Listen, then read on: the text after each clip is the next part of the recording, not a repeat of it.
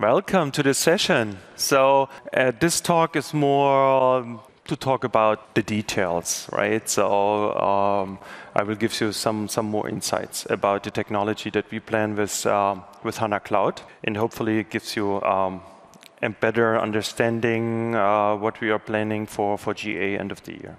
Um, my name is Rüdiger Karl. I'm part of the product management team in, in Walldorf. Trends and challenges. Hopefully you haven't seen the slides. uh, and then, okay, what is HANA Cloud in detail? What are the use cases? And I'm pretty sure you have seen the use cases before, but I think I will, I will talk a bit more uh, between the lines. So, okay. Good. The trends, I think, are clear. We have data grow. Um, most of uh, the data will be residing in public cloud because of the cheap storage, the cheap uh, cloud infrastructure. The pricing point is unbeatable in, in, in cloud infrastructures from Amazon or Azure. So that means there's no way, no way um, to, to, to, to have other, other um, storage solutions uh, on-prem because they can scale in their infrastructure across their, their pools, their storage pools.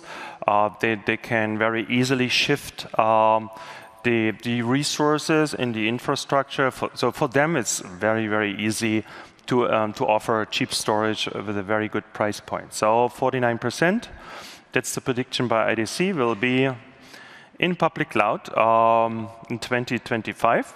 And um, in 2020, um, the, the, prediction is also to have 60% of the budget, of the IT budget, um, is assigned to cloud IT infrastructure. So this is a clear trend. Um, and companies, I know, they, they, they watch or they, they they look around to see what are the competitors are doing, so what what what are the analysts are whispering, and then uh, to see to see what are what is going on, and the CIOs then um, they talk to you. Maybe you are in the IT department, and they say strategic direction for the next two years.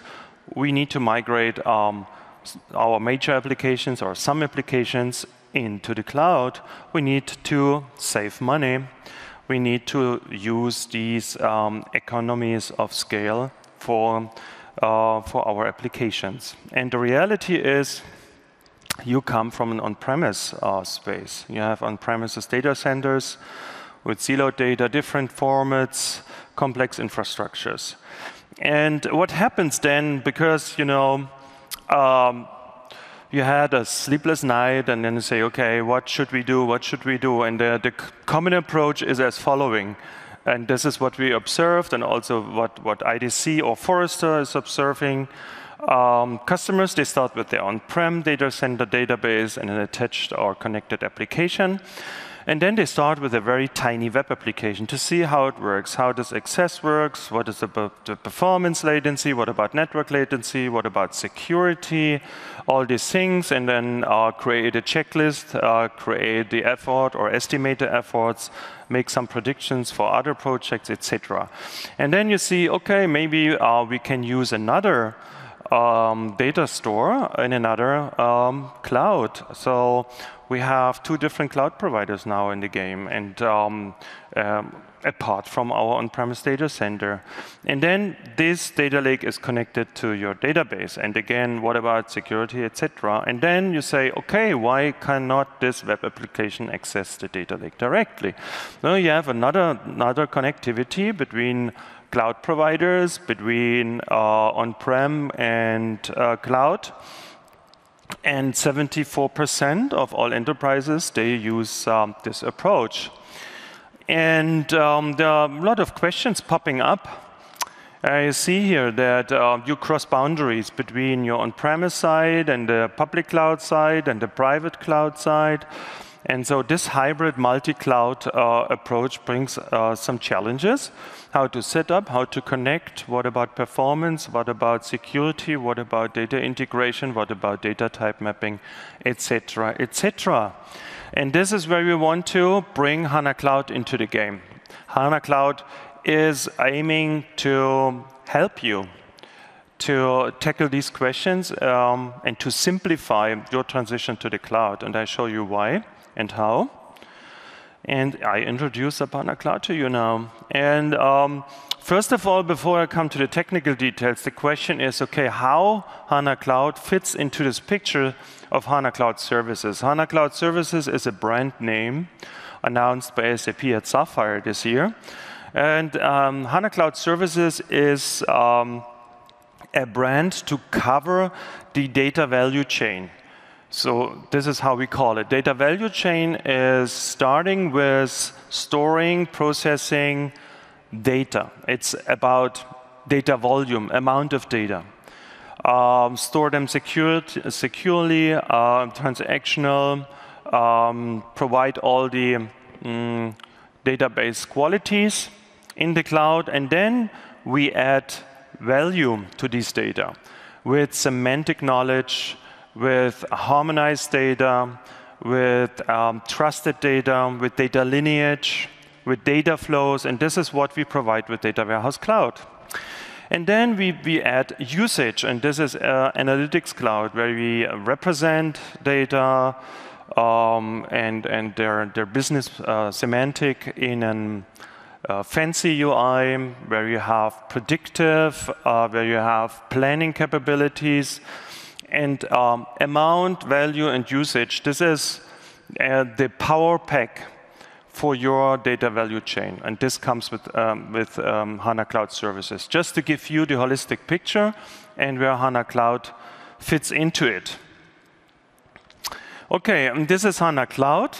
And you see, first of all, there is a core in the middle, and this, this is our HANA engine. So that means that we use um, all the HANA core principles that you know from the on-prem world. Um, so in-memory, columnar design, compression, um, we have this multi-model processing with um, um, different data types, relational data types, geospatial, graph, text, doc store, so we will reuse these capabilities. Why not? We do not reinvent the wheel, not at all. But we will add uh, some specific capabilities that are key elements for, for, for the cloud, and this is connectivity and the economies of scale. And connectivities is all about virtualization. Why virtualization? Virtualization means we do not replicate data. We do not want to move data from other data stores to HANA Cloud. Could be an option for sure, but by default, it's not the intention. Because you save money, uh, we, we do not duplicate data. Um, you have a rapid access to other sources.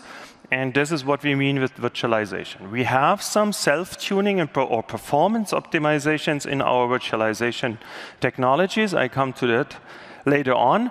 And this includes, for instance, caching. And then would you say, oh, caching is a kind of replication? Yes, it is, but it's not primarily a replication.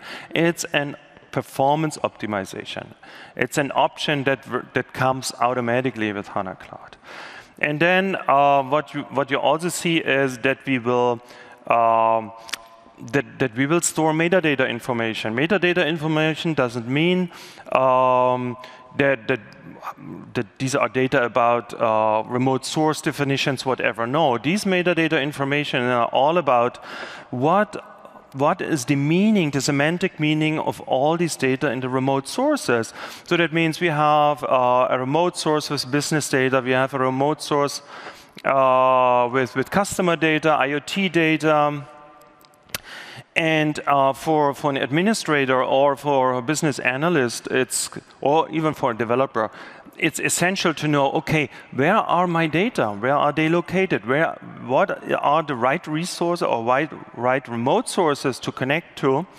Um, and then you can easily crawl or explore your remote data sources and connect to the right ones uh, for your application. And this is all about metadata. It's much more than, you know, uh, structures uh, types. I mean, for sure, it's also metadata, but it's more than that. It's, it's also to search for some of uh, these uh, business semantics that you see, okay, where are my um, uh, material data, where are my customer data, etc.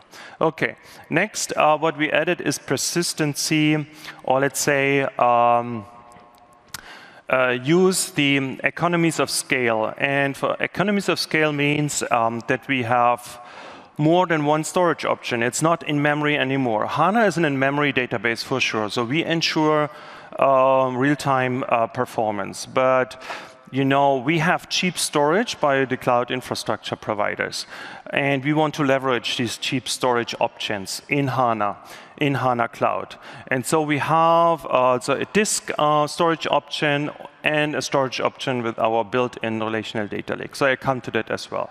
So that means that we can optimize um, our cost point for HANA Cloud by using um, the various storage options that you have in the cloud. Okay, and you see Elastic Scale. Elastic Scale, I come to that later, gives HANA Cloud the capability uh, to breathe with the workload. Breathe means grow and shrink, right? And this is exactly what we are aiming with HANA Cloud to give you the best, press, best uh, cost point um, by, um, uh, by, by adapting our um, HANA Cloud size to your workload. Okay, and the value proposition is the last slide on this level, but I think it's quite useful. Gives you the power couples. Power couples, what does it mean? You see on the left side and you see the right side, and you go from top to down. You see HANA benefits, so we reuse HANA benefits, all what, I, uh, what you know from the HANA engine, and you combine this with the power of cloud. So HANA Cloud is a cloud-native uh, software. So it's not comparable with HANA on-prem. And it's not comparable with HANA as a service. HANA as a service was just, you know, our first shot, bringing, bringing our HANA on-prem code line to the cloud, right? But this is not the, the, the ideal approach. The approach that we use with HANA Cloud is cloud native. Cloud native means we componentize our HANA software into microservices, and we run these microservices in containers, and we let orchestrate these containers by Kubernetes. Okay, and this means also that this software HANA Cloud is a complete new product line. It's a new code line. It's completely different from HANA on-prem. Okay, but we reused the core principles of HANA, as I said before, right? And I think this is important to know that we have here really different software stacks. We have different software. HANA Cloud is a, is a new software, it's a new next generation cloud database platform. And you see here data on demand and streamlined access. So both together access data anywhere, any format, in a very easy way. And the, the lower line means, okay, from a developer experience, I want to integrate very easily with any source within my development environment. So that's something that we will also provide, or that, that is our promise um, for, with HANA Cloud. Okay, let's come to the details. First of all, what's the difference uh, you may know between on-prem and cloud? You see on-prem on the left side is the full stack you need to manage, coming from the hardware, operating system, database, the full stack you need to manage. In a cloud environment, and we talk about platform as a service, you see that we have a managed service for operating system hardware that is provided by the cloud infrastructure provider. And on top, you have the HANA service. The HANA service, you have, um, you see here, that's a, it's another box. It's not part of this managed service box. Reason is that um, we, we offer two options. One option is a fully managed HANA database. So don't, you don't take care about backup, restore, uh, you don't take care about sizing, about capacity, nothing, right?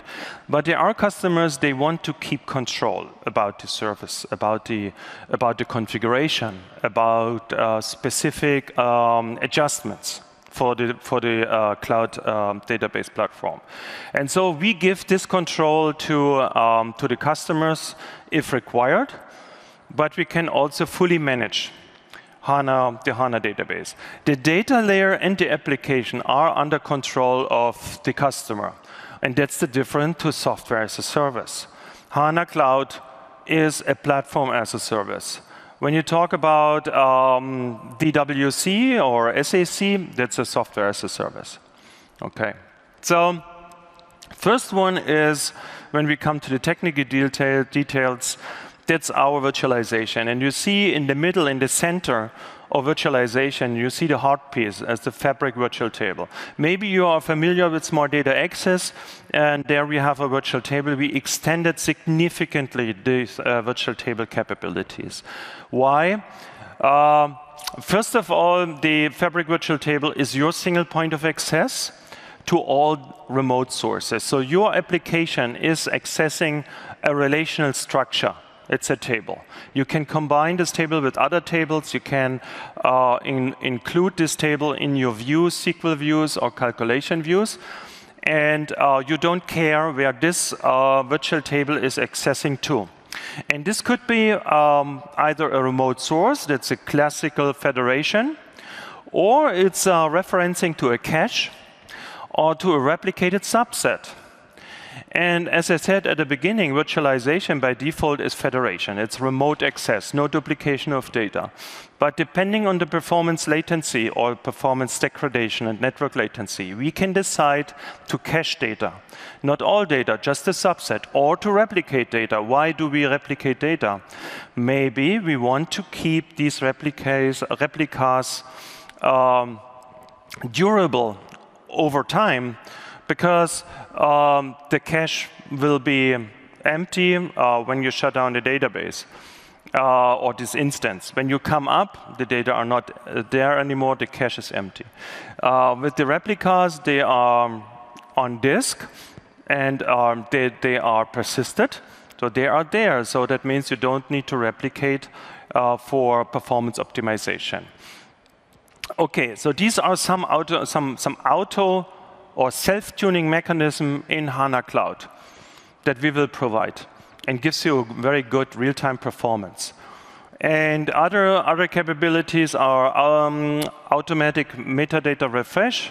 So that means if, if the table structures of the remote source is changed, we will automatically adapt um, the structure of the, of the virtual table. Okay, so this is about the fabric virtual table that we provide with, with HANA Cloud.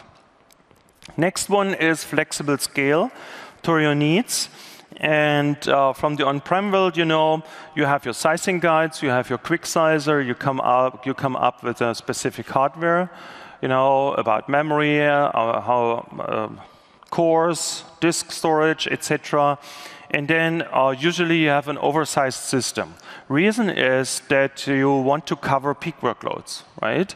Then, because it's, um, it's, it would be very uh, bad if, um, if your system is undersized and you run into out-of-memory situations or in an overload situation for your CPUs in your system. So mostly oversized systems that you have on-prem.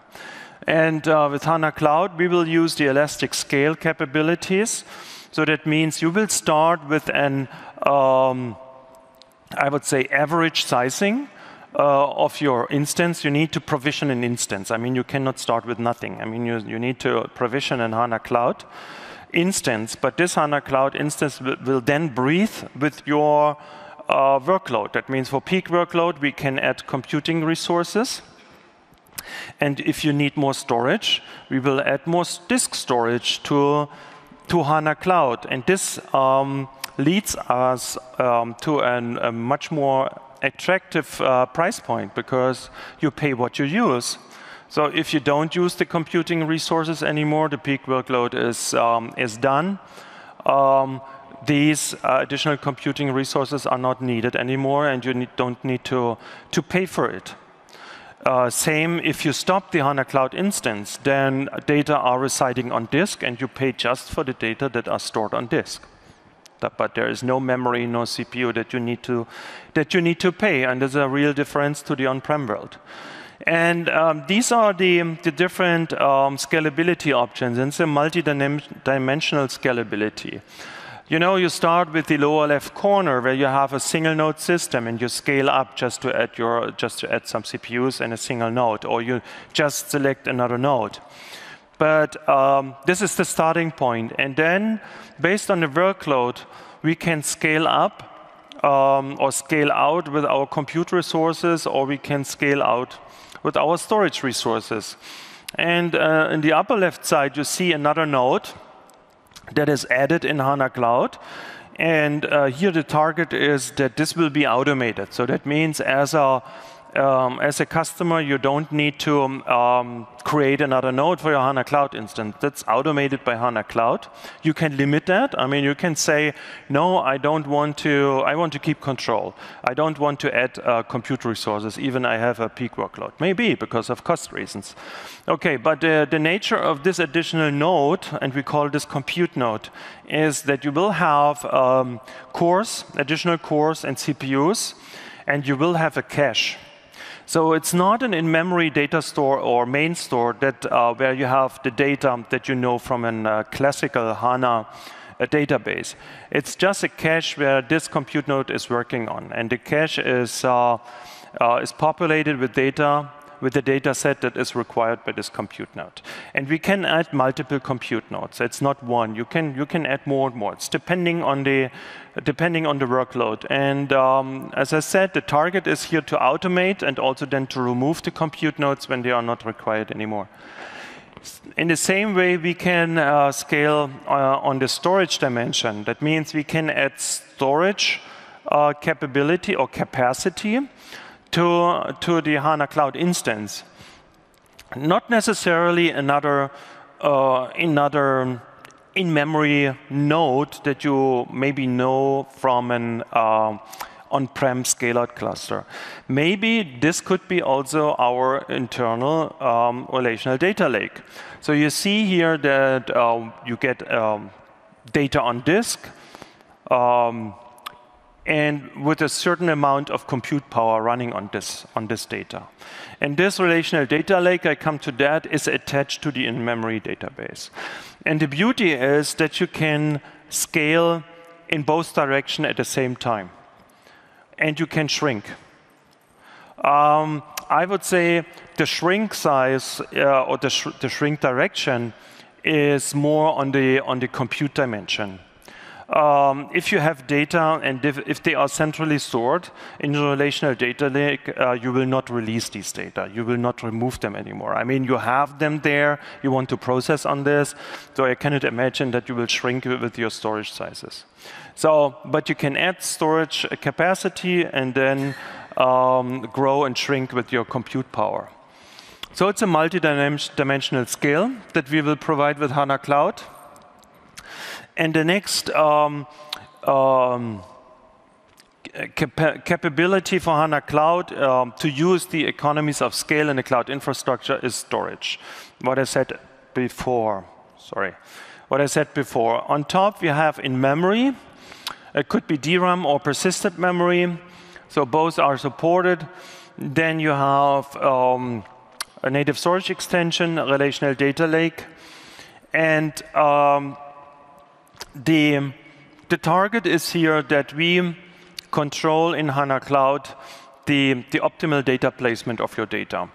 We will do this um, in the first version in a manual step and then in a semi, semi-automatic step where we run uh, recommendation apps that are optimizing um, or they are finding an optimized place for your data and then you have the decision to make um, to, to replace the data or not. And you see that uh, for each storage option, there are KPIs for performance, data volume, and price. And um, that's a trade-off, and that depends on your workload, on your application, on your um, requirements, where data should be located. But um, again, um, we try to automate to give you the right direction, uh, depending on your business context. So this is the way how it goes. And you see here also that um, some object stores, cloud object stores like Azure Data Lake or Amazon S3 or Swift or Google Cloud Storage, uh, they're also part of this pyramid on the um, lower side. Um, these um, object stores are not controlled by HANA Cloud. But why we have it uh, here included in a data pyramid, we can access it. We can access it, but we leave the data where they are. We can ingest data from these uh, storage, uh, from this storage layer uh, into our relational data lake for sure. But if the data volume capacity exceeds our own capacity, uh, why should we why should we remove these massive amount of data? I mean, we can access them remotely, uh, and we we we handle them as a, a data store in this uh, in this data pyramid, but we will not um, move them into HANA Cloud.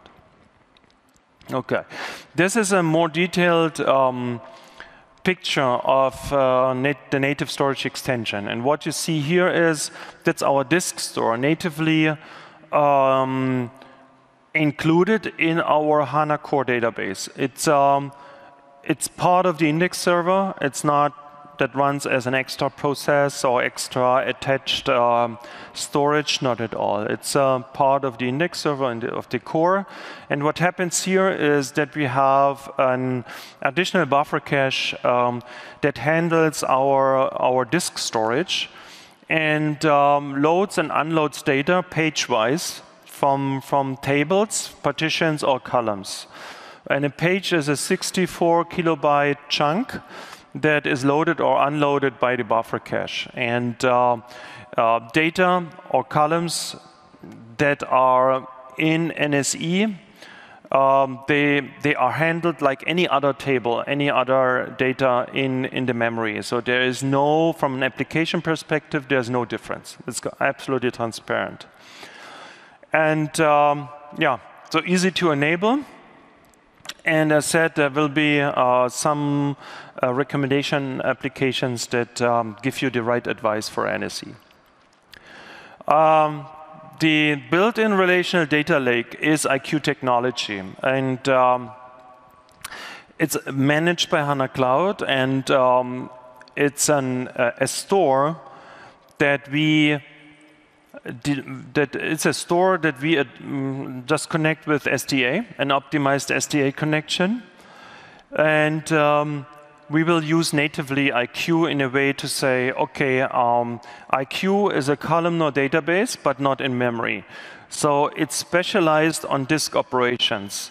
So we leave all these uh, strengths of IQ in IQ. We do not, uh, let's say, adapt um, these disk operators to our own operators. We, we just keep IQ as it is, and we just natively forward um, queries on the data lake to, I, to the IQ query processor and get back the results via this optimized connection. Um, next question is how HANA Cloud fits into this picture of SAP Cloud Platform.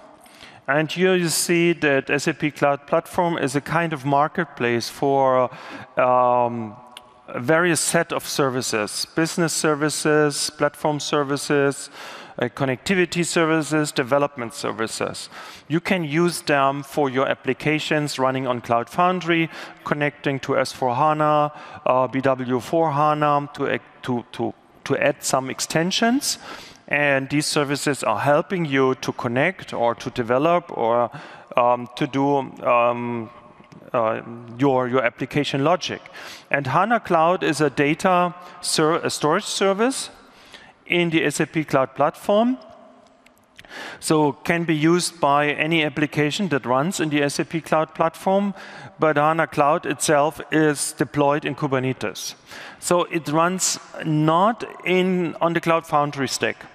However, the SAP Cloud Platform is our uh, facilitator to provision HANA Cloud instances, to monitor, to bill, and also to meter HANA Cloud. So that means the entry point to provision HANA Cloud is the SAP Cloud Platform, uh, Cloud Foundry. Okay, and all these service that, uh, services that you find there, they can connect to HANA Cloud, as you uh, may know um, from the beginning. So when you want to uh, provision HANA Cloud, you go into the SAP Cloud Platform cockpit, you select the region, uh, you select the cloud infrastructure provider and the data center, and then you find the service for HANA Cloud and provision the HANA Cloud service. So this is um, how we fit into um, this um, ecosystem of SAP Cloud Platform. And um, you see here a screenshot of um, the provisioning UI for HANA Cloud, you see that you can select uh, CPU, memory, um, you can select the, the, disk store and the relational data lake. Um, you can you can even say no, I don't want to have a relational data lake. Then it's not uh, provisioned in in HANA Cloud, so you have just an in-memory database. And uh, you see also um, a quick overview then um, of, of your data. Um, and then you submit, and then you provision HANA Cloud. And once it's um, in provisioned, you get a SQL endpoint, um, a secure endpoint, where you can, can connect to with your application. You get an, uh, a link to the Cloud, Cloud uh, uh, Cockpit as a service, HANA Cloud Cockpit as a service. And um, yeah, that's um, what you get. The Web IDE currently is not part of this provisioning process. Web IDE is an, a development service that needs to provide it separately or provision separately, has a separate pricing. Here, uh, work is undergoing to harmonize this with HANA Cloud, with the HANA Cloud offering um, as well. Uh, but for now, it's separated. Okay, but for HANA Cloud, Web IDE is enabled. You can connect then to HANA Cloud, develop uh, your applications, um, uh, XSA applications, and um, yeah, develop and model because the CalcView modeler is part of the Web IDE. Okay, if you want to connect um, with um, with a client uh, application or an uh, uh, front end, um, you need an HANA client version 2.4 and, and newer uh, because it provides the capabilities um, for, for HANA Cloud connection. Another uh, screen that you see here is once it's provisioned, you see uh, two tiles. Uh, one tile is about the in-memory um, database, and the other one is for the data lake. If no data lake is provisioned in the HANA Cloud instance, uh, it's not um, appearing there. But um, you see here um, how many data um, are in memory, how many data are on disk. Um, it's running. It's a first preview. We will provide more information in this tile, but we try to keep it simple. And from this, tile, you can even drill into your HANA Cloud to see what data are loaded into the HANA Cloud instance. So how many um, hot data, how many data in your disk store, and how many data in your data lake. That's the um, the, the, the, top part of, of this overview um, screen. And then you get information about the remote sources because connectivity is a key element of HANA Cloud. And uh, for these elements, uh, for these remote sources, you see here um, that for uh, Azure, we have a connectivity to Azure. Um, we have um, uh, this part, I mean, we need to um, have uh, here some numbers. In hot, in our own hot memory for, for HANA Cloud, this is on, store, on, on disk, and this blue part is in a data lake. So that means we already uh, uh, we moved some data for performance optimizations from Azure uh, to HANA Cloud, but not all, because it's too much.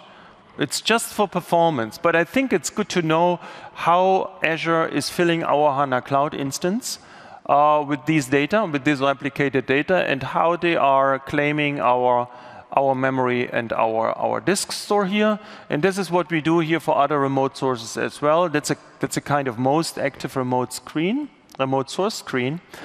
And this part here is also interesting because what you see here is are different connection types.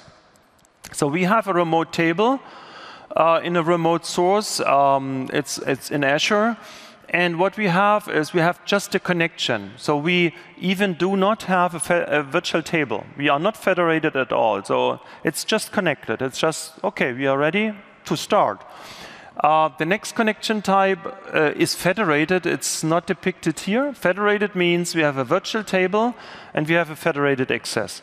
Or the connection type is NSE. That means that we um, we now replicate a subset of data in our disk storage to have an optimized access to this data.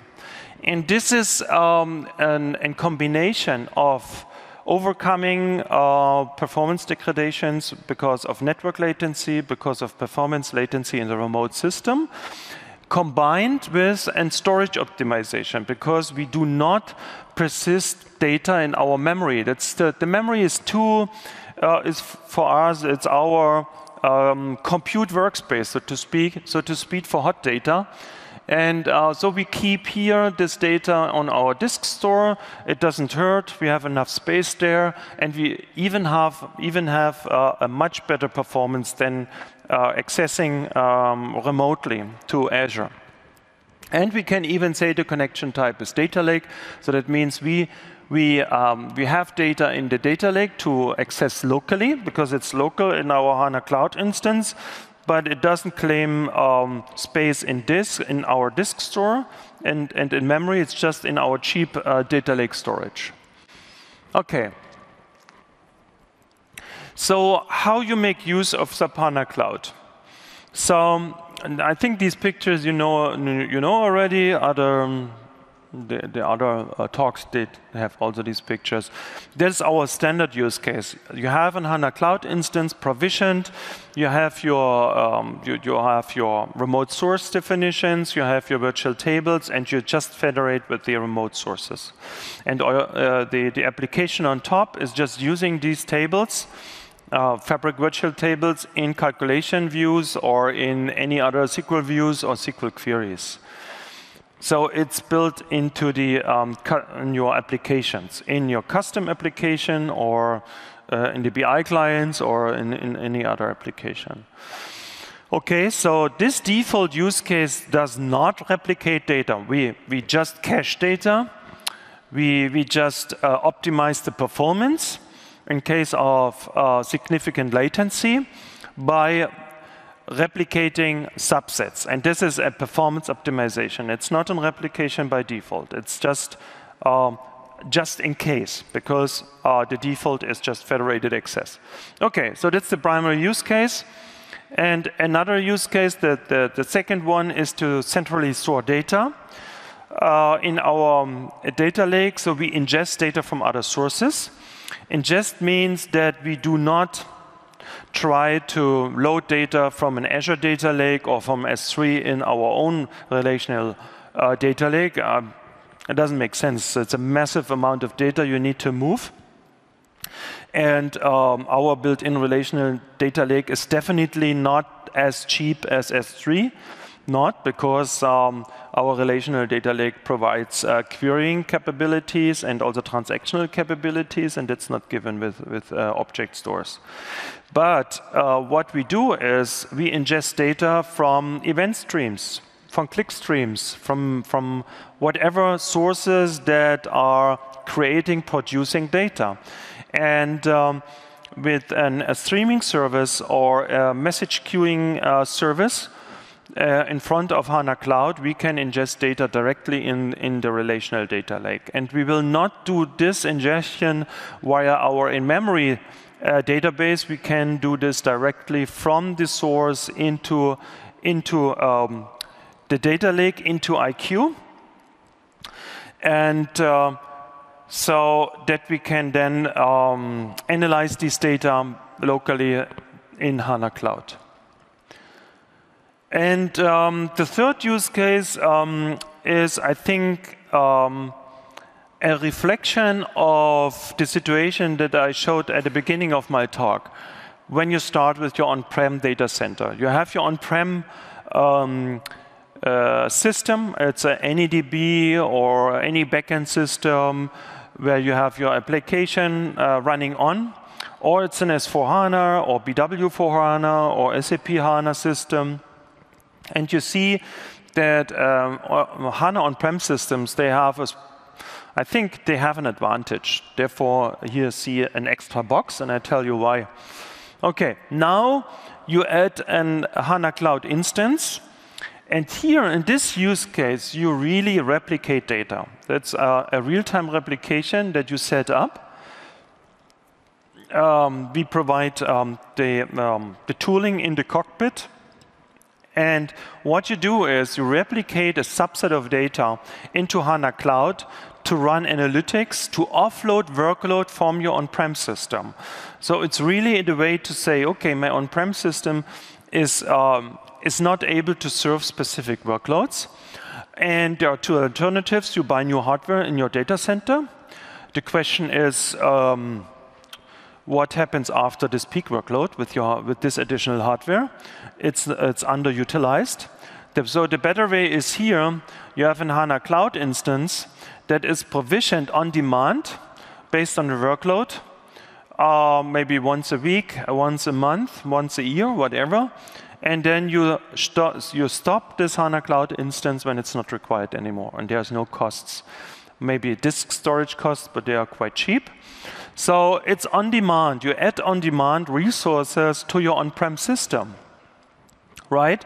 And with this real-time replication, you, um, you even uh, persist data in HANA Cloud for later usage. And you can, uh, scale is maybe a bit misleading because it's not a scale-out cluster. You stretch your on-prem system. You, you stretch your on-prem system to, uh, to the cloud with HANA Cloud. And you can even federate. And this federation then works um, from the between HANA to HANA. So that means um, behind the scenes, when you connect with your application to the on-prem system, behind the scenes, we can use um, um, connectivity to HANA Cloud, connectivity to cloud remote sources, without the need to upgrade this on-prem system or to uh, do some, some um, extra custom development, whatever. Uh, you do this just by connecting or federating with the HANA Cloud instance. And this is actually the starting point for this migration path. So that means the more data you have replicated to HANA Cloud, the more are you familiar with the HANA Cloud instance and the capabilities, the easier is the way to transition to the cloud and finally uh, have HANA Cloud as your leading system. And then the on-prem system is handled like a remote source. You, switch the leading system at the end. But again, this is not necessarily given. There are companies that they cannot uh, move data into the cloud because of data privacy, of IP um, uh, reasons. So they, okay, my build, okay, this display is broken now. Now it's, it's, it's up again. Okay, so, um, so that means um, we have um, two, I think, two deployments. Uh, then uh, one is you have this um, HANA Cloud and on-prem system in case customers cannot move data or not all, all data to HANA Cloud, or a customer transitions finally to HANA Cloud, and then HANA Cloud is the leading system, and you can then um, elim eliminate your on-prem system um, uh, eventually, or uh, you use this as a remote source. Okay, and if you, uh, that's a really a preview, uh, if you uh, handle this um, scenario in your on-prem on your on-prem side, there, there is an extension in the cockpit saying, okay, we have um, we have workloads over the week, over the day, that is exceeding the resources of my system. It will be uh, notified in this kind of calendar uh, calendar view. And then you switch on um, the HANA Cloud instance, you bring this up, okay, you have provisioned uh, before because you need you have a kind of license, you, you need an account, you provision, but then you shut down the HANA Cloud instance, there are no costs. And then whenever you switch on, the HANA Cloud instance will be, will be started. and gives additional power to your on-prem system, right? And then you can switch it off when this peak workload is, is uh, not given anymore. Okay, so this is just how you control from the on-prem side the HANA Cloud instance. Okay, so what's next? Um, strategic direction. Um, HANA Core. So HANA development itself will be continuing, right? We have an on-prem code line. It will be continuing. However, we have another code line for HANA Cloud. And uh, we, we use, we reuse these core principles, but in another code line, okay? This will be combined with cloud native capabilities. You see here, zero downtime, uh, zero admin, multi-cloud support, elastic scale, microservice architecture. So this is the, the combination of uh, what we reuse from HANA Core um, that we inherit uh, from, from the on-prem world in our HANA Cloud code line and HANA Cloud product line. And then finally, we add um, continuous innovations. And here you see that uh, we will continue with uh, the Fabric Virtual Table, with, um, with online, uh, online operational capabilities um, to, for, to have a zero um, downtime approach. So whenever tables are um, indexes are created, tables are repartitioned, tables are um, um, have a changed structure. We will do this online without uh, a business downtime activity. Uh, with the relational data lake, uh, we will do new innovations and uh, also with the data tiering, which is the usage of the different storage options in a more automated and intelligent way. Our um, we will continue with the, with the query engine, with simplifications and automated uh, database operations. So uh, the, the, common um, word here is autonomous database. Um, and this is also what we will uh, what we will continue in our strategic direction with HANA Cloud. And on top, a unified development experience for our developers um, running on, on HANA Cloud and a unified administration experience.